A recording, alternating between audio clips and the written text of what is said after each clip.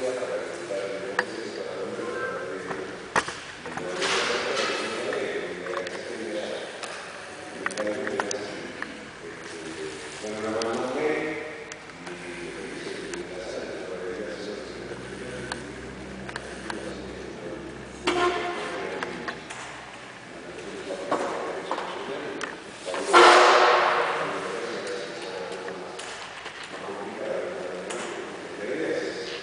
colaborar y estar, estar en comunicación directa.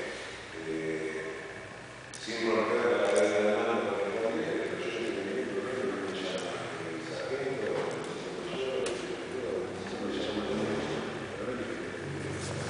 ya se la llama más más ágil. Y acá, eh, como decía recién, si yo decía que trabajo, voy a estar en la respuesta para hacer el criterio, tengo que la posibilidad de estar ahí. Yo siempre digo, hasta el límite que estar y ahora no sé estar y lo más tiempo es y lo que haya que hacer se hace en ese momento.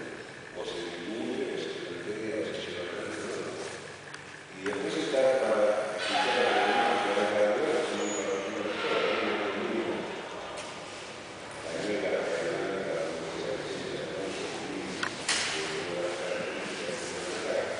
Escuchar a los productores, a los productores, y ir buscándole la solución, porque se crea la superintendencia, da algo con todos los fierros, como se dice, todo, todo bien, pero eh, se esto es posible, como todo, en cualquier organismo y en la vida, ¿no? O sea, a medida de...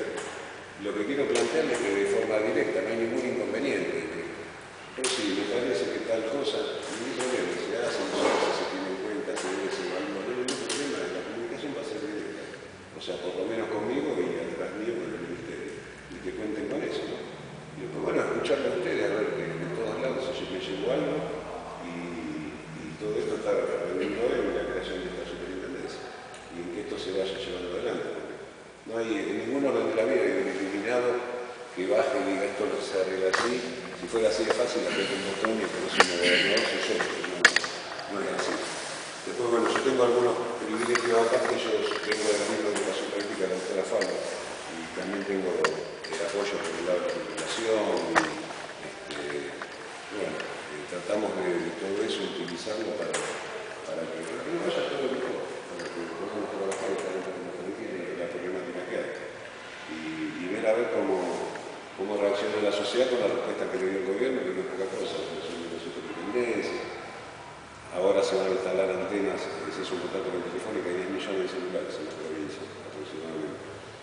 Eh, porque, bueno, por la carencia de señales en muchos lugares, eh, antenas de menores dimensiones, pero que van